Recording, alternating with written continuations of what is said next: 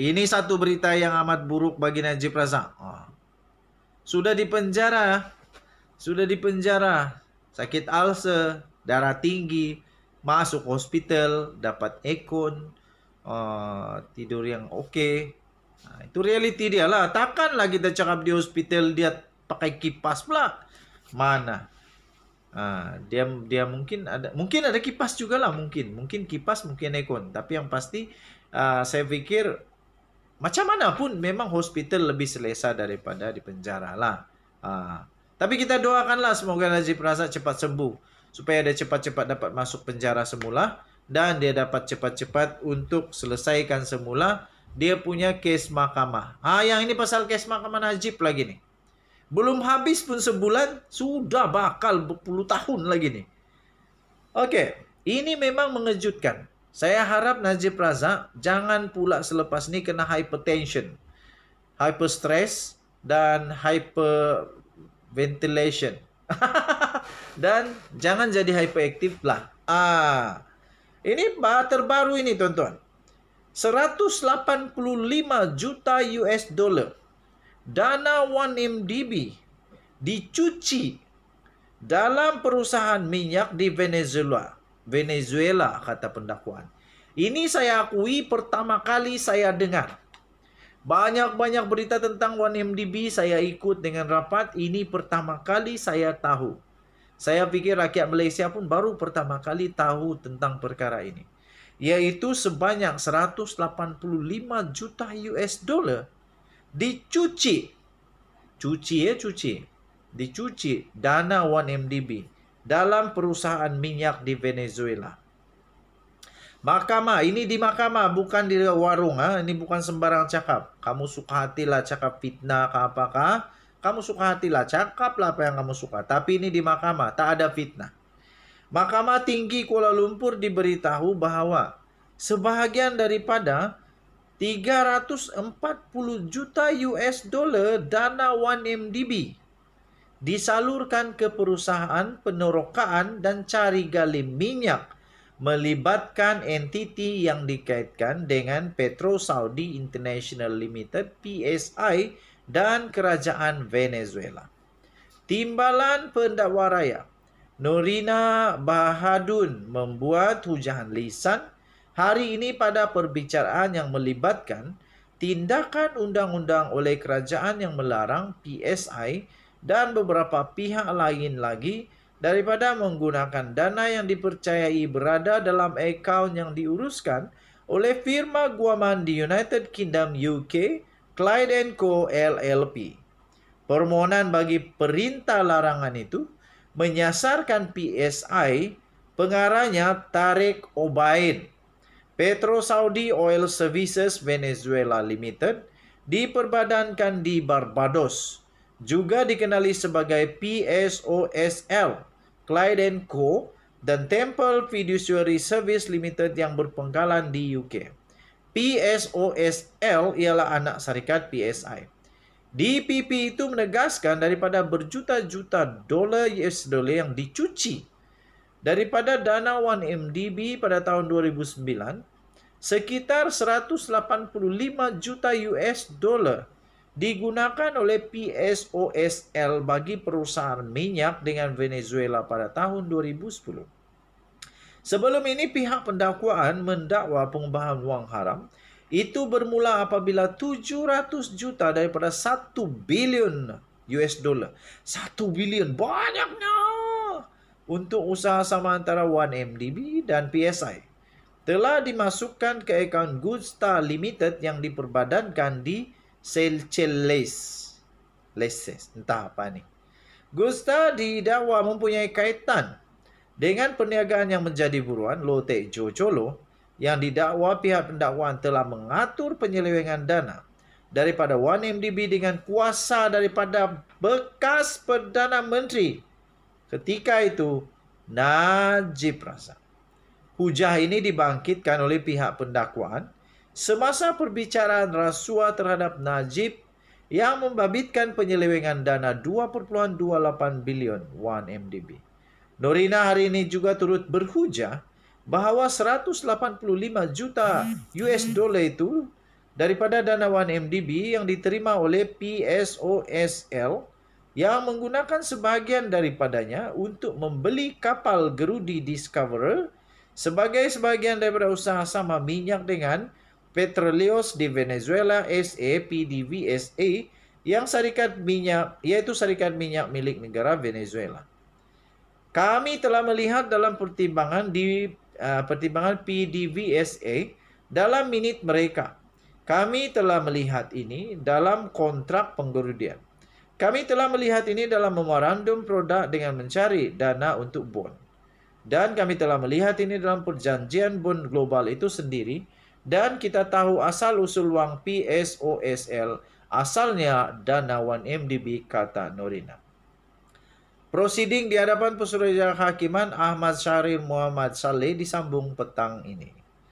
Tuan-tuan dan puan-puan yang dihormati sekalian, Kerajaan Malaysia telah memfailkan tindakan undang-undang pada 14 Julai 2020 dengan mendakwa bahawa jumlah keseluruhan 340 juta 258 ribu 200 lah. Eh apa ni saya pun tidak pasti apa ni eh. Oh.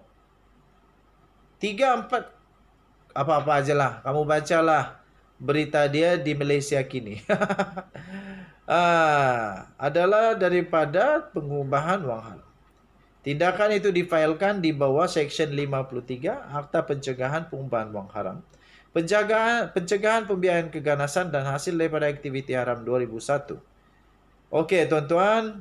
Najib kini telah menjalani hukuman penjara 12 tahun. Selepas pada 23 Ogos yang lalu mengekalkan uh, Mahkamah Persekutuan telah mengekalkan sabitan dan hukuman penjara serta denda 210 juta dalam kes rasuah melibatkan SRC International berjumlah 42 juta.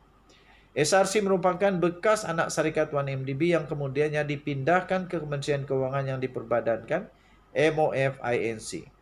Najib juga pernah menjadi Menteri Kewangan, penasihat emeritus SRC dan pengurusi lembaga penasihat 1MDB.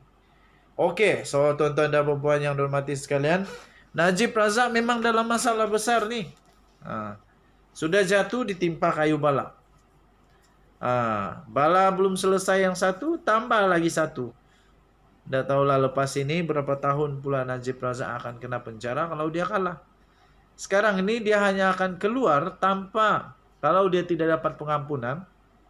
Dia akan keluar dari penjara waktu dia umur 82 tahun. 82 tahun, geng.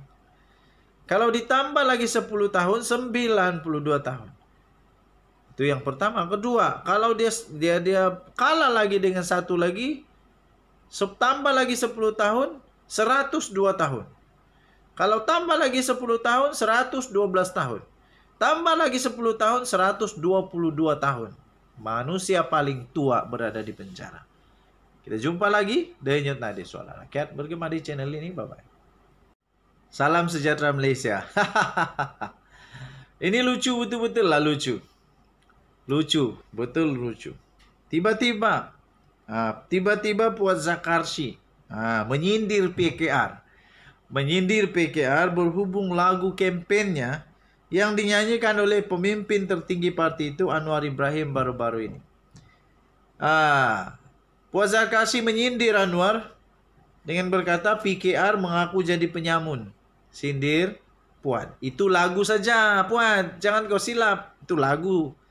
Tapi yang dalam AMNO betul-betul sudah terjadi pemimpin nombor satu AMNO memang sudah disahkan. Tak payah nyanyi lagu dah. Tak payah nyanyi lagu. Tak payah pun mengaku. sudah disahkan. Sembilan hakim, tiga mahkamah di Malaysia termasuk mahkamah paling tinggi. Mensahkan bekas Presiden AMNO, bekas pengerusi BN, bekas Perdana Menteri, bekas Puat Zarkarsi punya bos, bekas Zahid Hamidi punya bos, Najib Razak adalah penjenayah di Malaysia. Sudah dimasukkan ke penjara. Pemimpin AMNO, Puazar Kasi, menyindir PKR berhubung lagu kempennya yang dinyanyikan oleh pemimpin tertinggi parti itu Anir Ibrahim baru-baru ini. Ahli Majlis Tertinggi AMNO itu berkata, menerusi lagu berkenaan, PKR mengaku bahawa mereka adalah penyamun. tak dengar, tadi dengar lagu, dengar juga lagu PKR, akulah penyamun. Geli-geleman tengok Anwar dan Rafizi menyanyi ramai-ramai, kata Puan. Elok lagi tu. PKR mengaku jadi penyamun, Anwar siap berdiri menyanyi. Ha. Patut mereka tambah pada lirik lagu itu. Aku penipu, pemfitnah, progol dan peliwa. Wah, puan, puan, puan. Oh, mesti puan seronok nih. Sebab dia ada peluang untuk hentam. Woi, okay. So, lepas ni, Ha, kena hati-hatilah buat lirik kot. Nanti buat sindir lagi, lagi bahaya. Ha, lepas ini kalau mau cakap betul-betul betul-betul terangkan dengan jelas. Ha, siapa pencuri, siapa penipu, siapa pemfitnah dan siapa perompak, ha, kasih jelas betul-betul. Baru lengkap lain kali buat pula lagu Aku PM Tepi. Memang PKR kaki nyanyi rakyat. Katanya dalam kenyataan di Facebook. Tak apalah buat. Yang penting ada juga bunyi-bunyi PM tepi. Puan Zarkasi bila nak jadi PM. Ha, kesian. Okey. Uh, jangan risau. Saya pun tidak juga menyokong Anwar Ibrahim. Uh, saya tidak pernah pun mengundi PKR. Jangan salah faham. Saya tidak pernah undi di PKR. Tidak pernah undi di AP. Tidak pernah undi. Banyak lagi lah parti yang saya tidak pernah undi.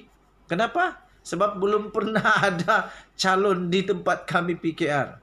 Kalau ada calon PKR pun mungkin belum tentu saya undi. Cuma saya suka dengan kebenaran. Saya suka kebenaran yang betul-betul, bukan pura-pura, bukannya berlakon, bukan sekejap ini sekejap itu. Ah.